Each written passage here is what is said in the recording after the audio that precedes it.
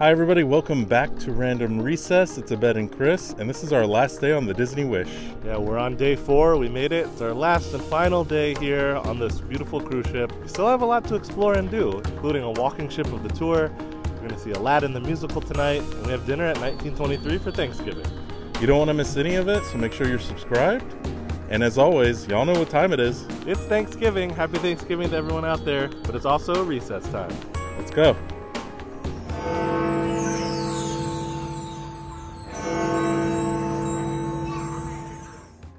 All right, y'all. We all know this is why we cruise. I've never been able to get this close to the front of a ship. All right, y'all. For this view alone, I think we deserve a like on this video. Yep, and maybe even a subscribe. Beautiful day. We're gonna enjoy it here on the Disney Wish. All right, we're trendsetters now. There's a bunch of people up here. Mm-hmm. it's a beautiful day, man. The sea is super calm. There's a nice breeze. God, did you ask for better cruising weather? I don't think so. All right, y'all. Chris and I do have a reservation for Palo Brunch. However, that's going to be a random recess restaurant review. It'll be a separate vlog because you just we just want to be able to show you more than what we could fit in in a regular vlog. So we are in on 12 aft, and this is the hallway heading towards the Rose. Wow, look at this.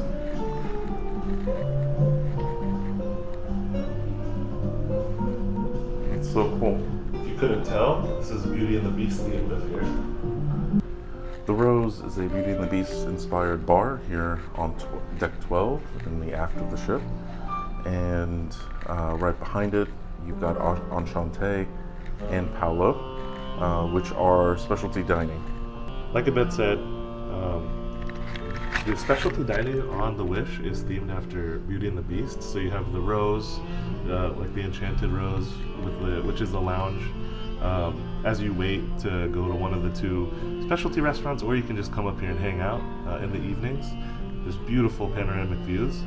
Then you have Enchante, which is curated by three Michelin star chef Arnaud Lallement. I think I pronounced that right, maybe not.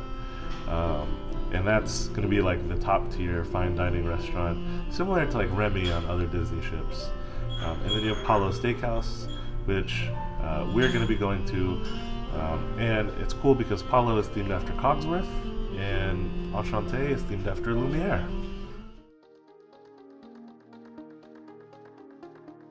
Y'all, Disney Cruise Line does a really great job when it comes to gratuities, additional gratuities. It's really respectful, it's really classy. They put these envelopes, these envelopes in your room, and they've got labels on them for head head server, server, host, and assistant server. So your host is like your steward. And the idea is you actually put one of these slips. This tells you how much each of your servers actually getting from the prepaid gratuities that you paid. You do not have to hand, you don't have to put them in each envelope and hand it to them, but you can. It's a courtesy. And then if you wanted to add like additional gratuities, which Chris and I do, you can do so. And it's in a nice, neat envelope. But I want to call something out real quick. They don't get very much. If you really think about level of service. So our server, $19 per person. From our gratuities, that's how much they're getting from our prepaid gratuities. So no, these are prepaid gratuities. The assistant server, $15 from me and 15 from Chris. Again, prepaid gratuities. The head server, $5. Again, this is like the overall manager, the head server. Uh, stateroom host, you know, the steward, uh, $19 as well per person per cabin. You feel is appropriate, you don't have to do it at all. You don't even have to add additional gratuities. It really just comes down to whatever you can spare. If you can spare anything additional on top of the prepaid gratuities, it's always nice. It's a nice gesture. So, again, way to go, Disney. Really love how you do the prepaid gratuities. All right, Chris and I are here waiting for our guided ship tour at the Enchanted Sword Cafe, which is uh, mid, uh, which is on deck five, um, near the Grand Hall.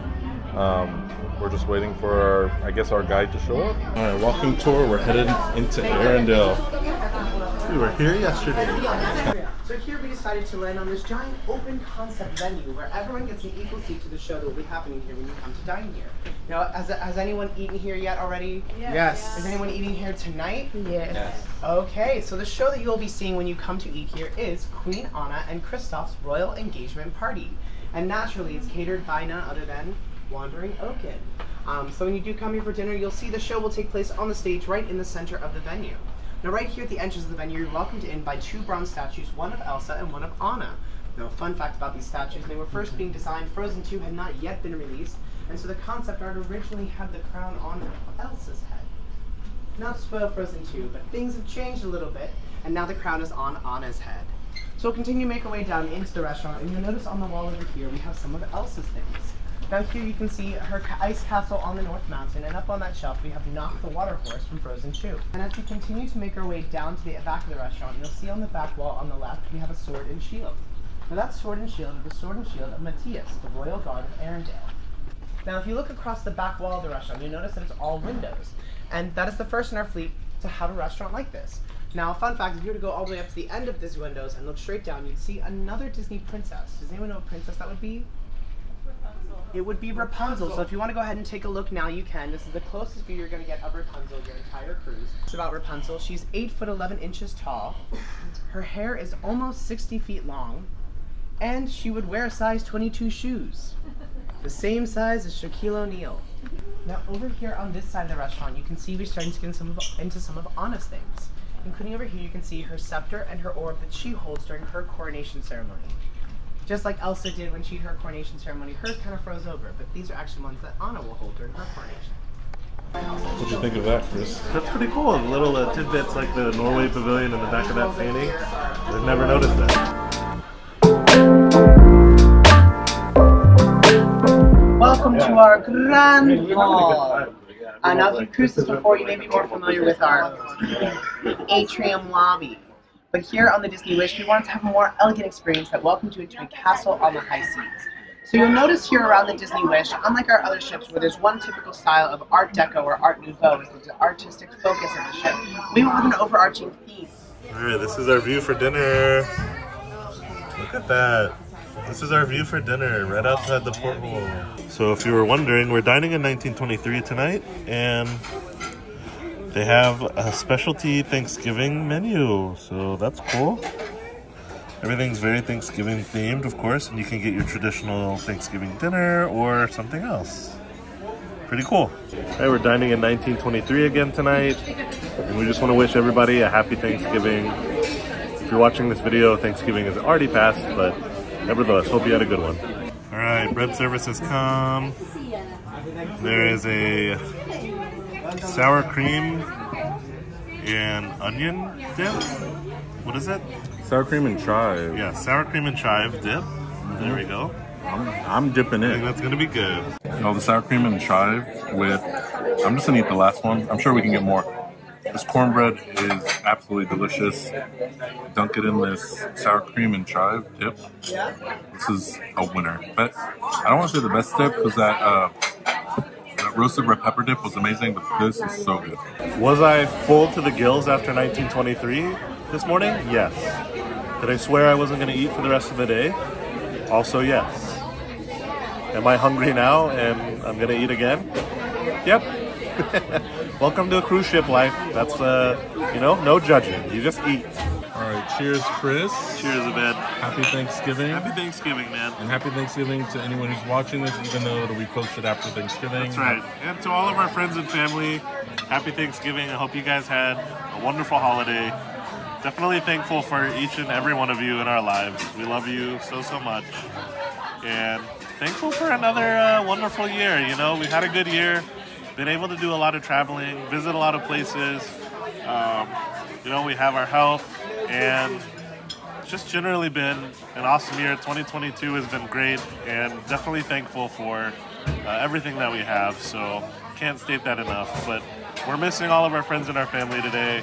Uh, wish you all were here with us um, soon enough. All right, so I got the seafood sampler. I also got the uh, croquettes.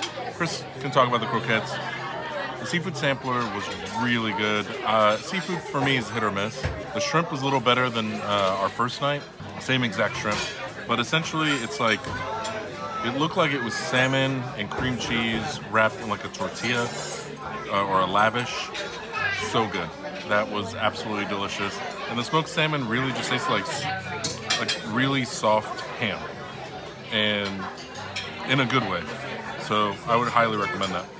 All right, we both got the croquettes. Those were a hit. Croquettes were amazing. It's fried potato with some ham and cheese in it. Come on. Uh, and it came with this like I, I think this is like a raspberry jam, but that paired so well with it because the sweetness of the jam cut through the saltiness from the croquette. It was fried perfectly. It was a hit. So far, 1923 has, you know, continued to prove that it's the best main dining option here on the Wish. Everything's been great so far. All right, so we got the, the turkey dinner. It came with turkey, gravy, dressing, some cranberry sauce on the side, sweet potato mash with honey and chopped pecans, and some roasted vegetables. And everything was really good. The turkey was super tender, gravy was delicious, the dressing was awesome. The sweet potato mash is exactly how you think it would be. It was good. Um, no complaints about it at all. The star of the show were the pumpkin raviolis that we got. Ooh, those were delicious. So savory. The pumpkin filling was amazing. The raviolis were cooked really well. I had a recommendation by our server. We got the raviolis, and that was that was a good move. Listen to your servers, guys. All right, Ben and I are going to stop in here at Nightingale's to grab a drink before we get in line for a Aladdin. So Nightingale's is a Cinderella-themed bar um, named after the song that she sings in the movie. And uh, it's an 18 and over establishment. They have a piano in there, and it's supposed to be really pretty with some really great cocktails. So let's go check it out. All right, so we decided to stop in here at Nightingale's before the show to get a, a pre-dinner cocktails. We got the Sweet Nightingale, which comes in a cool little bird glass. You actually get to drink out of a bird butt. It's got Hendrick passion fruit, rosemary, and mint. It sounds delicious, and it looks really good. So I'll let Abed try it and tell you. All right, y'all. This is the Nightingale. It comes in this really cute Nightingale glass with a glass straw. I took the mint out, but uh, yeah, I'm gonna give it a shot and see what it's like. It's perfectly balanced with the gin and the passion fruit. Uh, it's sweet, tart, and the gin, the flavor of the gin really comes out. Um, plus, it's an adorable experience. I mean, you can tell people you've drank out of a, bird-shaped glass, out of a nightingale. And I got the Stepsisters, which came with a cool smoke bubble you saw. Uh, so it's Don Julio 1942, Calvados, Strega, Lillet Blanc. So let's give it a shot. And the glasses that these drinks come in are so gorgeous. Mmm. That's really good. So smooth. You get a little smokiness from the bubble that they put on it. Also with the tequila in there. That's such a smooth drink. It's really good. All right, Abed and I are just sitting here in the lobby on the last night, just kind of soaking it all in. Any final thoughts, Abed? I gotta say, Disney Cruise Line is definitely an experience. If you are a Disney fan, you should definitely come on it. It was our first time on here, and one word magical. Yeah, it really is magical. It's kind of the taking the, the magic from the parks and putting it on the open ocean.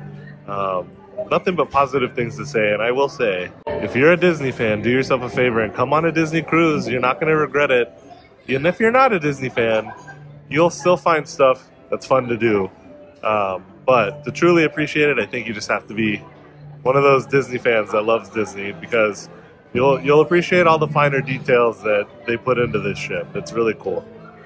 But yeah, we're, we're waiting for the the kiss goodnight, and then we'll sign off with you guys. So uh, we'll see you in a little bit.